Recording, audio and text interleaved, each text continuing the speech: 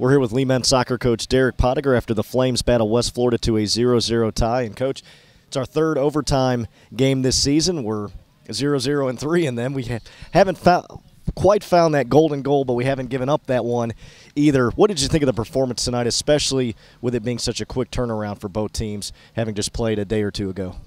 Yeah, this was always going to be a battle, and so uh, you, of course go into an overtime game. You, you hope you can pull one out, but I'm, I'm proud of the guys, not just in overtime, but throughout the game. I, I, thought this was one of our better competitive performances. There's some things that we can clean up, but I, I thought they battled, and to go into a double overtime game and, and hang on, I, I thought they did a good job. Was there a moment when you thought that goal was coming? It seemed like, especially there in the second half, Jose had a, a, some pretty good looks, and it just felt like it was close, but we weren't quite able to connect with it. Yeah, I, I thought that's how the game went. I thought there were waves for both sides, and I thought we had a couple in each half uh, where we had a five or six minute span where it just felt like something was going to happen, and and that's been a little bit of, if I can call it our Achilles heel this year. We've played well, we've gotten ourselves in good positions, but we just haven't had that final pass and final moment, and such is the case. Three overtimes and three ties. Well, now you go on the road, Auburn Montgomery coming up Friday night, and then on Sunday you'll turn around and play Montevallo. Your thoughts going into this next weekend?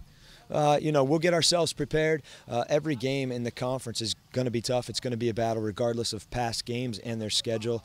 Um, and so we're just be ready to play. Well, a lot of toughness from your boys tonight, coach, and a 0 0 tie with West Florida. Best of luck next weekend. Yeah, thank you.